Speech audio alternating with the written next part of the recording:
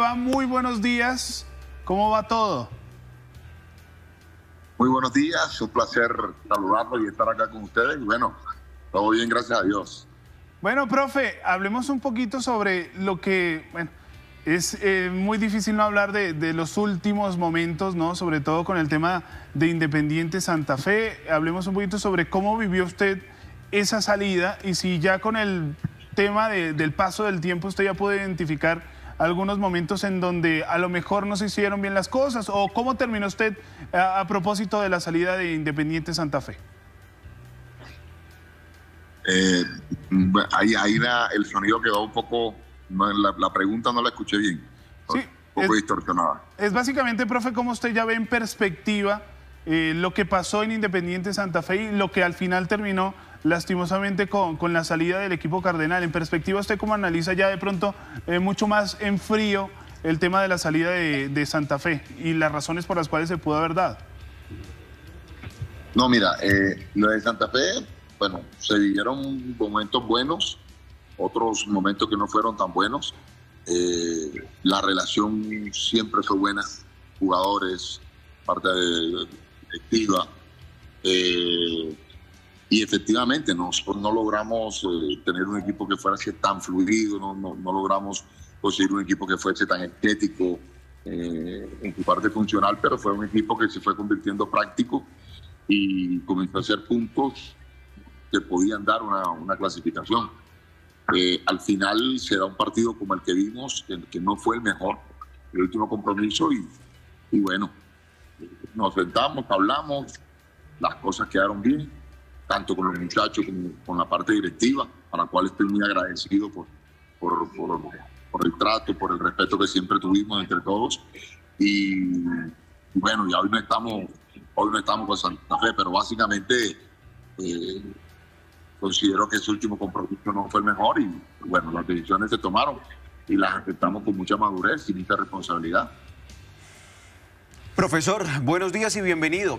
Respecto a lo que tiene que ver con un balance de lo que fue su gestión en Independiente Santa Fe, quiero preguntarle por qué encuentra usted como los ítems de autocrítica pensando en sus futuros procesos. Particularmente, por ejemplo, nosotros a la distancia encontramos más allá de los resultados que fueron buenos porque el colchón de puntos que deja lo, le permite a Santa Fe hoy seguir compitiendo por entrar al grupo de los ocho. El manejo de grupo lo encontramos como uno de los factores que termina siendo clave en su salida del club. ¿Qué piensa usted al respecto? Y si considera que aquella salida en Medellín, post partido con Atlético Nacional, fue el detonante para su partida del club. Eh, alcancé a escuchar algo sobre el manejo del grupo. Correcto, profesor. No sé si mejor restablecemos la comunicación porque Pensaría. evidentemente tenemos algunos inconvenientes para que el profesor nos escuche y que sea mucho más fluida la charla con él. Sí, sí, mucho mejor porque nos está escuchando a medias. Telefónicamente. O mejor de manera telefónica o de forma telefónica para poder conversar con él bien, porque si él nos escucha, no nos escucha lo que le estamos preguntando, pues sí, puede, se puede prestar para una mala interpretación, Correcto. ¿no? Sí, para, inter, para, interpretaciones que no vienen a, a Muchas al veces tema. lo que digas puede ser usado en tu contra. Y más Lili, y más Lili en este momento, cuando un técnico mmm, sale de un equipo, no sale solo por malos resultados, hay diferentes motivos. Eh, dicen que uno, dicen, no, que uno no, que el puesto ingrato del fútbol es el del arquero. Sí. Yo creo que el puesto ingrato del fútbol es el del técnico. No, es que el técnico vive con la maleta en la puerta, eso el, está clarísimo. El técnico, el técnico llega... El equipo no funciona, no se van los 25, 30 jugadores, no se va un jugador. Hay algo, se hay, va el técnico. Se va el técnico. Hay algo curioso y es que todos. Ah, bueno, los, en el 11 sí se van algunos todos jugadores. los técnicos. Eh, sí, no, y en, en, Bucaramanga a veces también se van algunos Sí. jugadores y demás. Pero, pero digamos, el técnico llega siempre con el respaldo de todo el mundo, con el aplauso de todo el mundo, con la bendición de y con el proyecto. Vamos a apuntarle a un proyecto. Sí. Cinco partidos después, si las cosas no salen, el proyecto No, y, va al tacho. Sí, Es porque- complicado. Y ni siquiera cinco, fueron 16 partidos los, los- los del profesor Uber Boer en donde él no salió del grupo de los ocho en esas fechas. Es que los resultados al final no fueron malos. Exactamente. Y por eso sorprende no mucho lo que fue la terminación de su proceso, porque al final, si ustedes van un pasito atrás y recuerdan la conferencia de prensa en su momento del presidente Eduardo Méndez, lo que se buscaba era réplica del proceso de Millonarios, con tiempo, con Proceso, fichajes muy de la mano de la después- sapiencia del entrenador y vea. Después de una goleada, le pasó a Colombia con Queiroz, después de la goleada frente a Águilas. la misma historia, no hubo nada que hacer. Definitivamente, Creo por eso. está el profe. Muy bien. Profesor, ¿nos escucha? Sí, ahí les escucho perfectamente. Perfecto, profesor, para tener una comunicación mucho más fluida y gracias por su espera. Le preguntaba recién respecto a lo que tiene que ver con un balance, con una autocrítica de lo que fue su gestión en Independiente Santa Fe, porque curiosamente encontramos un muy buen colchón de puntos en 16 partidos, aquellos 23 puntos que le permiten aún hoy en día seguir compitiendo por el ingreso al grupo de los ocho, pero a la distancia nosotros encontramos el tema del manejo de grupo y de sus declaraciones post partido contra Atlético Nacional como un antes y un después en su relación con la plantilla. ¿Es tan así y fue uno de los detonantes para su partida de Santa Fe? Bueno, mira, eh, cuando se dio ese, eh, el tema, que lo se interpretó de... Las cosas se interpretan como, como, se, como se quieran mirar, ¿cierto? Eh, todo se llevó. Y lo que yo siempre quise decir, y lo dije en algún momento, que con menos nómina habíamos competido mucho mejor. Para mí es que teníamos una nómina mucho mejor, ¿cierto? Para mí no es echarle agua sucia a ellos, más lo estaba exaltando en que éramos mucho mejor o somos mucho mejor para competir en esta clase de compromisos. No tuvimos un buen partido, es algo normal, le, le puede pasar y nos ha pasado a todos en el fútbol colombiano. Lo, habla- lo hablé con los muchachos, lo hablamos con el presidente, expuse mis, excusas y ah, si en algún momento se sintieron aludidos, pero el equipo yo siempre lo vi compitiendo. Yo no puedo decir que, los muchachos bajo mi mando en algún momento hayan dejado de hacer algo. O sea, nosotros en el último compromiso, por ejemplo, 20 minutos nosotros teníamos sometido a- a Águilas. Y ellos en una descolgada tienen la fortuna de un penalti. Y luego nosotros tenemos en los pies de Hugo eh, eh, eh, el empate y, y les digo, yo no tengo duda de que Hugo no quiera hacer un gol. Eso, o sea, el equipo luchó. Hemos tenido situaciones desafortunadas, sí. ya los, el mínimo error nos la estaban cobrando y recibíamos gol. Eso es algo que, que lo estamos viendo, pero la actitud de los jugadores, el compromiso, yo eso no lo pongo en duda.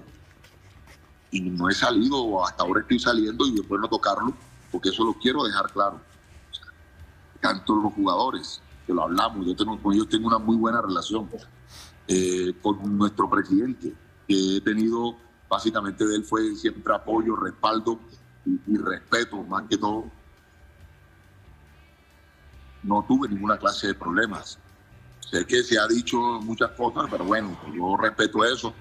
Hasta hoy tengo la, eh, oportunidad como de hablarlo, poder manifestar lo que yo sentí y la decisión que al final se tomó, como te digo, para mí es respetable y, lo asumimos nosotros con mucha madurez y, con, agradecidos netamente con Santa Fe. Profe, hola, un abrazo. Con la mano en el corazón, ¿usted realmente sintió que pudiera trabajar un proceso con este Independiente Santa Fe? Y dos, también quisiera preguntarle, porque cuando se toman esas decisiones así o se cortan esos eh, proyectos, procesos, como los quiera llamar, pues uno siempre dice, debía haber hecho, no debía haber hecho. ¿De qué se arrepiente en su paso por Independiente Santa Fe? No, yo no me arrepiento de nada, porque primero siempre trabajé con la honestidad que me caracteriza, la alegría y la confianza en mí. Es normal cuando uno toma un equipo, vamos a vivir diferentes facetas a lo largo de la primera fase regular. En los 20 partidos tú tienes momentos altos, momentos medios y momentos bajos. Vives diferentes etapas.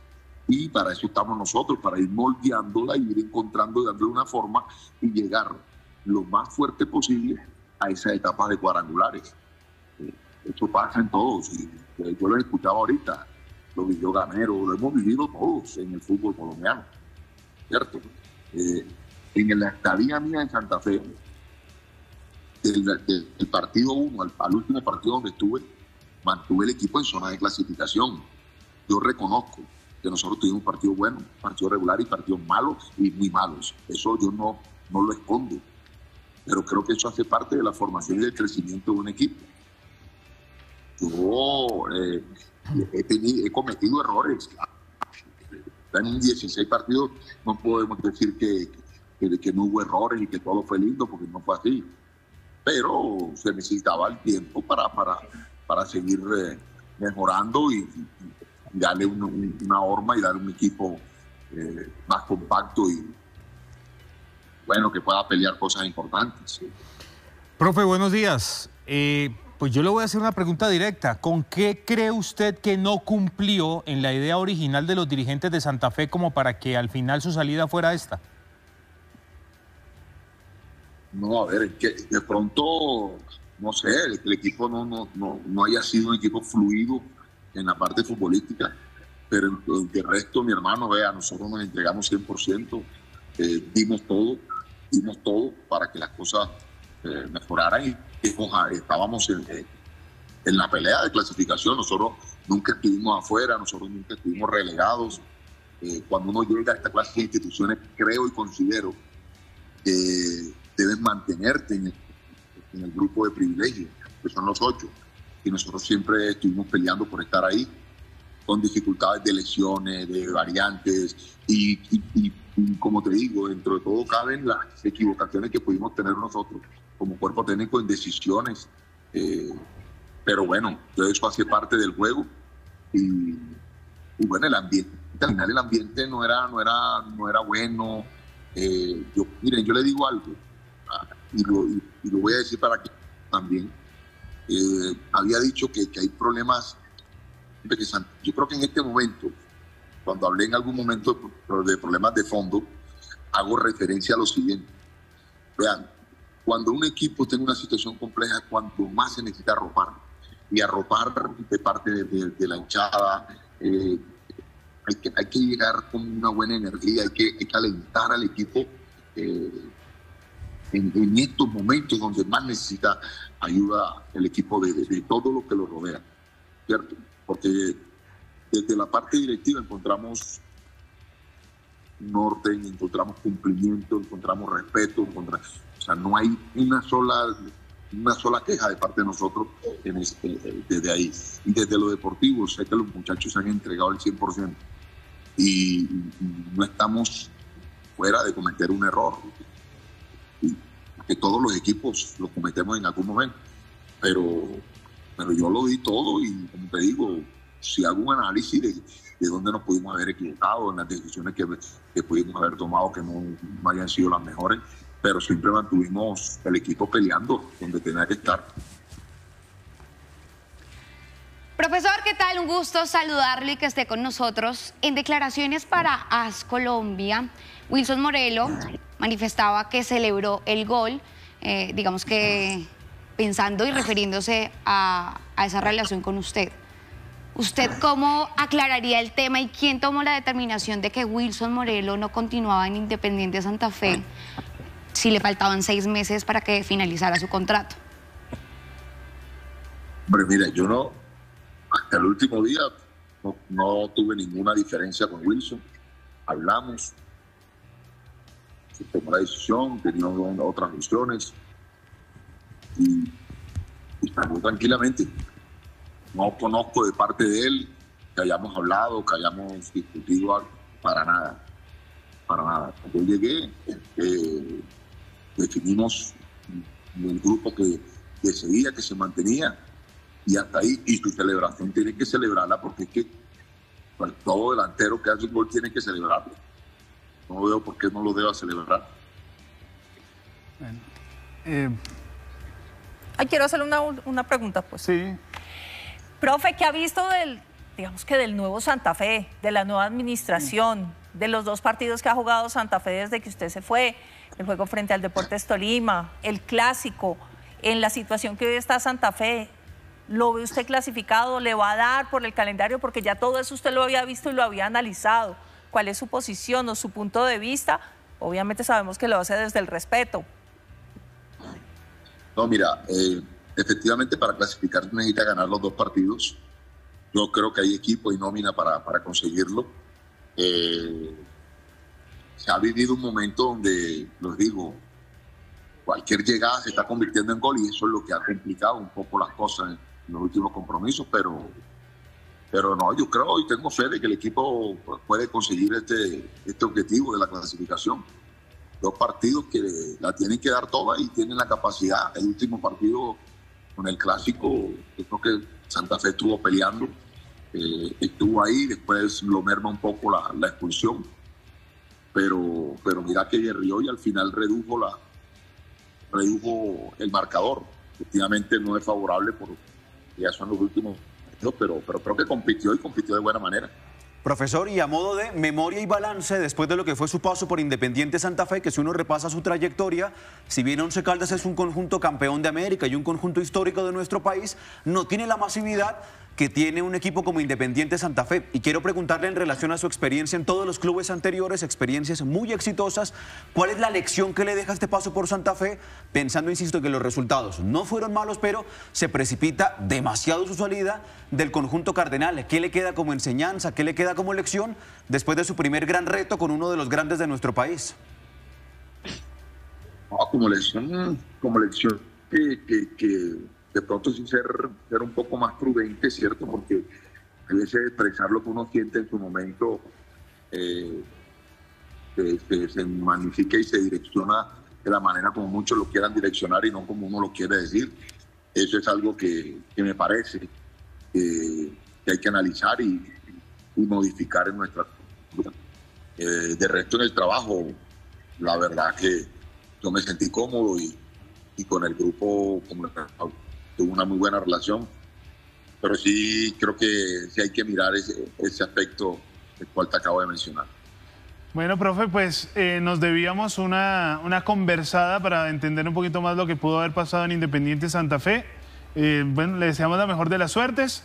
Eh, me imagino que ya habrán algunos proyectos también tocándole la puerta y pues... Ya suena. Ya suena, ya está suena. en el aeropuerto. Ya suena. ¿Para, ¿Para, dónde va, profe? Si nos lo puede contar. ¿O de dónde viene? ¿O de dónde viene? ¿O va para...? Cuéntenos. Vengo de Cartagena, estaba visitando a mi madre, que tenía, por este oficio no, no, no, da tiempo y espacio de pasar por allá. Y estaba visitando a la familia y ya regreso, en estos momentos voy a Manizales, estoy radicado. Oiga, profe, Ah, ¿cómo- bueno. ¿cómo toma la familia de un entrenador situaciones como esta? No, muy duro, la verdad, muy duro, eh, sobre todo con la madre de uno, que es la que más sufre, y mi señora, los muchachos, además porque el ataque fue, fue fuerte, han dicho mucho una cantidad de cosas que, bueno, solo queda eh, hacerse fuerte y, seguir hacia adelante. Hay algo que yo tengo muy claro, y es que eh, tengo- estoy muy seguro de lo que soy y de lo que tengo. O sea, nada me mueve a, a- a cambiar mi pensamiento y, y a desconfiar de, de las grandes capacidades que tenemos nosotros como cuerpo técnico. Así que vamos hacia adelante. Esto es un paso muy bueno en nuestra vida. Para mí fue una linda experiencia, como te digo, lo, lo disfruté y, y bueno, lo que se viene son bendiciones en el nombre de Jesús. Sí. Todo pasa, profe. Todo Un abrazo. pasa. Todo pasa. Muchas gracias, Así profe. es. Bueno, que esté muy bien. Chao, profe. Chao, profe. Saludos a la familia. Ah.